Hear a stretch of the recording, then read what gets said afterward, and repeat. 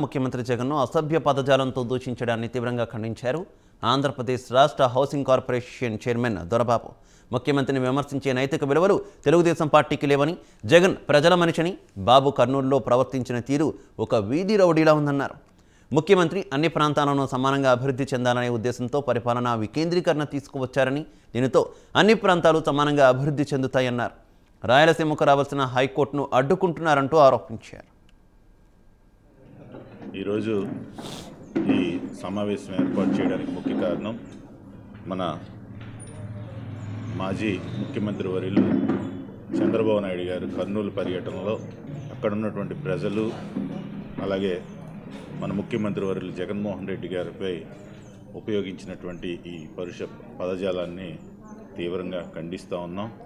ఈరోజు జగనన్న ప్రభుత్వం అలాగే వైఎస్ఆర్సీపీ ఈరోజు అన్ని ప్రాంతాలు సమానంగా అభివృద్ధి చెందాలి. ఈ పరిపాలన వికేంద్రీకరణ వలన అన్ని ప్రాంతాలు అభివృద్ధి చెందితే ఆంధ్రప్రదేశ్ అంతా అభివృద్ధి చెందుతుందని ఈరోజు జగన్మోహన్ రెడ్డి గారు ఆలోచన చేస్తూ ఉంటే ఆయన ఆలోచనని ఈరోజు అన్ని ప్రాంతాలు కూడా ప్రజలు కూడా సమర్థిస్తూ ఉన్నారు.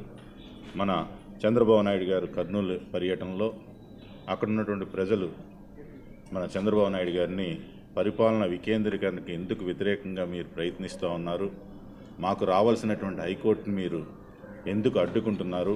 అలాగే అన్ని ప్రాంతాలు సమానంగా అభివృద్ధి చెందడం మీకు ఇష్టం లేదా అని ప్రశ్నిస్తే పద్నాలుగు సంవత్సరాలు ముఖ్యమంత్రిగా పరిపాలన చేసినటువంటి ఒక వ్యక్తి నలభై ఐదు సంవత్సరాలు ప్రత్యక్ష రాజకీయాల్లో ఉన్నటువంటి ఒక వ్యక్తి ఇప్పుడు ప్రతిపక్ష నాయకుడికి ఉన్నటువంటి వ్యక్తి ఆ ప్రశ్నలకి సమాధానాలు చెప్పకపోగా ఒక వీధి రౌడీలాగా అక్కడ ఉన్నటువంటి ప్రజల్ని అలాగే ముఖ్యమంత్రి జగన్మోహన్ రెడ్డి గారిని కూడా వీరందరూ కూడా సన్నాసులు తెలివిలేని దద్దమ్ములు అలాగే ఒక